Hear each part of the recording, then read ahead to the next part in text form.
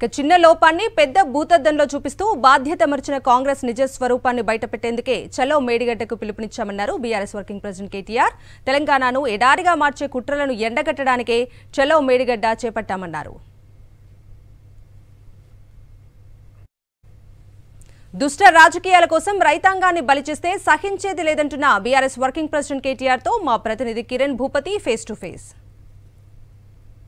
నిన్న ఎవరైతే ఆ కేంద్ర జలశక్తి సలహాదారు కావచ్చు కాంగ్రెస్ నేతలు కావచ్చు ఖచ్చితంగా ఇందులో లక్ష కుంభ లక్ష కోట్ల కుంభకోణం జరిగింది. కొన్ని ఆరోపణలు చేశారు. ఏ రకమైన ఎంక్వైరీకైనా సిద్ధం ఏ రకమైన న్యాయ విచారణ చేసుకుంటారో చేసుకోండి. బాధ్యుల మీద చర్యలు తీసుకోండి అని చెప్పాము ఇప్పుడు. ఇదే ప్రచారం ఇదే రకమైన చిల్లర మాటలు చిల్లర విమర్శలు మానుకొని బాధ్యత మర్చిపోయి ప్రవర్తిస్తున్న ప్రభుత్వం ఈరోజు ఇప్పుడే ప్ర- పోచారం గారు చెప్పినట్టు రాష్ట్ర ప్రయోజనాలను ఫనంగా పెట్టి చేయాల్సిన పని చేయకుండా తమ బాధ్యతను విస్మరించి ఏదైతే రాజకీయం చేస్తున్నారో కాళేశ్వరం అంటే మూడు బరాజులు ఇరవై ఒక్క పంప్ హౌజ్లు పదిహేను రిజర్వాయర్లు వందల కిలోమీటర్ల సొరంగ మార్గాలు వెయ్యి కిలోమీటర్ల పైచిలుకున్న ప్రవాహ కాలువలు ఇవన్నిటిని కూడా ప్రజలకు అర్థమయ్యే విధంగా తిరిగి చూపెడతాము. ఒక్క బరాజులో సమస్య వస్తే ఆ సమస్యను తప్పకుండా దిద్దుబాటు చర్యలు తీసుకోవాలి. వెంటనే రైతులకు నీళ్ళిచ్చే ప్రయత్నం చేయాలి తప్ప రాజకీయం చేయవద్దని ప్రభుత్వానికి విజ్ఞప్తి. మీకు మా మీద కోపం ఉంటే మా పార్టీ మీద కోపం ఉంటే తప్పకుండా రాజకీయంగా మాతో తలపడండి ఇబ్బంది పెట్టదలుచుకుంటే కూడా కేసులు పెట్టండి అభ్యంతరం లేదు. కానీ రైతుల మీద కత్తి కట్టకండి రాష్ట్ర ప్రయోజనాలను ఫనంగా పెట్టవద్దనేది మా డిమాండ్.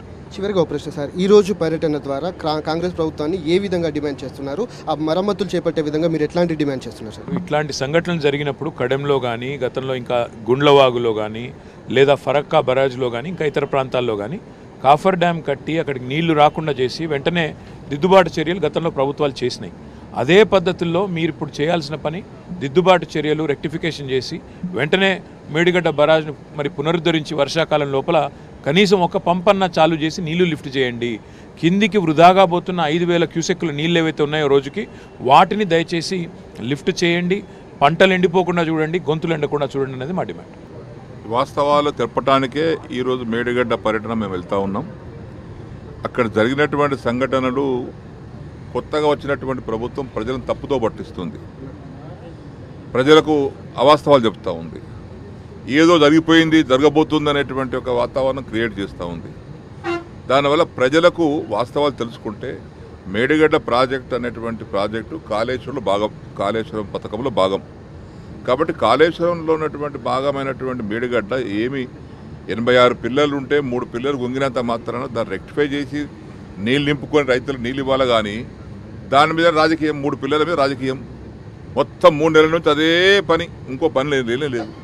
ఉన్నారు. ఈ రోజు పర్యటన ద్వారా ఖచ్చితంగా కాంగ్రెస్ ప్రభుత్వాన్ని డిమాండ్ చేస్తున్నాము. అక్కడ ఉన్నటువంటి కుంగిన పిల్లర్లు కావచ్చు అన్నారంలో లీకేజ్లు ఏవైతే ఉన్నాయో వాటన్నిటిని కూడా రిపేర్ చేసి రాబోయేటువంటి రోజుల్లో ఎండాకాలం వస్తుంది కాబట్టి ఖచ్చితంగా వీటిని నీటిల నీళ్ళను అందించాలి. కాంగ్రెస్ ప్రభుత్వం చేసినటువంటి ఈ కూడా ఎలాంటి వాస్తవం లేదు. ఖచ్చితంగా గతంలో కూడా కొన్ని ప్రాజెక్టులు కొట్టుకుపోయాయి. దాని పట్ల కూడా ఇప్పుడు ఉన్నటువంటి ప్రభుత్వాలు కూడా వాటిని మరమ్మతులు చేపట్టింది. కానీ కేవలం బీఆర్ఎస్ ఏదైతే పార్టీని బదనం చేసే విధంగా కాంగ్రెస్ ప్రభుత్వం చేసినటువంటి చర్యలను తిప్పికొడతామంటూ కూడా ఇటు కేటీఆర్ చెప్తున్నటువంటి పరిస్థితులు కనబడుతున్నాయి.